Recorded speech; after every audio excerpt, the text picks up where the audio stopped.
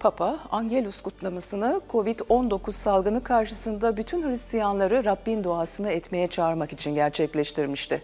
Tüm mezheplerdeki Hristiyanlar Papa'nın koronavirüs salgınıyla ilgili dua çağrısına yanıt verdiler. Tüm mezheplerdeki Hristiyanlar Papa'nın koronavirüs salgınıyla ilgili dua çağrısına yanıt verdi. Papa, Angelus kutsamasını Covid-19 salgını karşısında bütün Hristiyanları Rabbin duasını etmeye çağırmak için gerçekleştirmişti. Papa Francesco Hristiyan liderlere geniş kilisenin cennetin lütfunu birlikte çağırmalarını ve bu salgının sonunun gelmesi için dua etmeye çağırmalarını yazdı.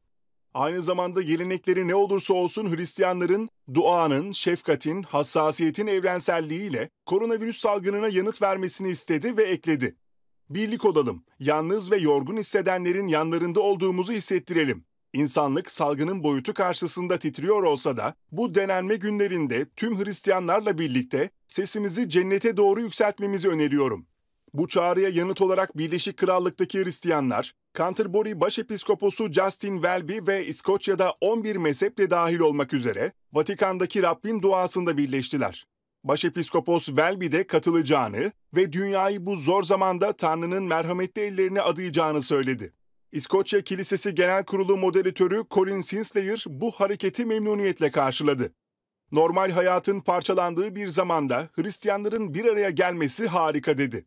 Avrupa Kiliseleri Konferansı Başkanı Christian Krieger ve Genel Sekreteri Dr. Jorgen Skov Sorensen Hristiyanları katılmaya davet etti. Dünya genelindeki Anglikan Cemaati Genel Sekreteri Dr. Joseph Ido Firan, Papa Francesco'yu bilindiği ve saygı duyduğu ekümenik misafirperverliğini gösterdiği için övdü ve dünyanın dört bir yanındaki Anglikanları katılmaya çağırdı.